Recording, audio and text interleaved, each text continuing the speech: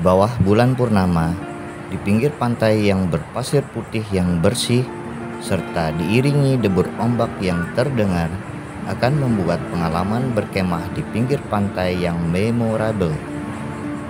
Pilihan utama kita ketika kita ingin mencoba eksotisme berkemah di pinggir pantai adalah Watu Kodok, sebuah base camp pantai dengan fasilitas yang memadai, cukup untuk membuat kita nyaman dalam berkemah sambil menikmati keindahan pantai laut selatan di Gunung Kidul, Yogyakarta.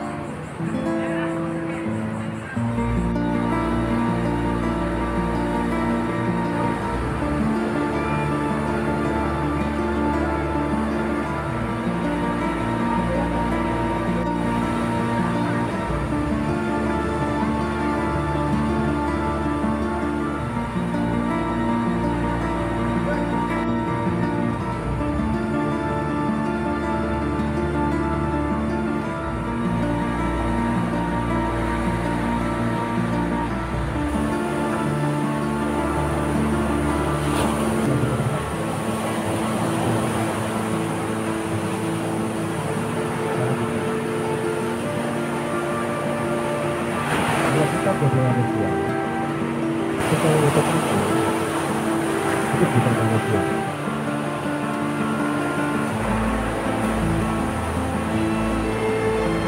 Itu nanti yang tidur. Jadi di antara kalian itu Di malam hari, kita bisa membuat api unggun di depan tenda kita. Jangan takut sulit untuk mencari kayu bakar, karena para pedagang di sini menjual seikat kayu bakar dengan harga Rp30.000 saja. Dan biaya camping di sini hanya dikenakan Rp10.000 per hari sebagai bantuan untuk dana kebersihan saja. Dan bila kita tidak memiliki lampu tenda sendiri, kita bisa menyewa listrik di tempat penyewaan tenda yang ada di sana. Harganya hanya Rp30.000 per malam.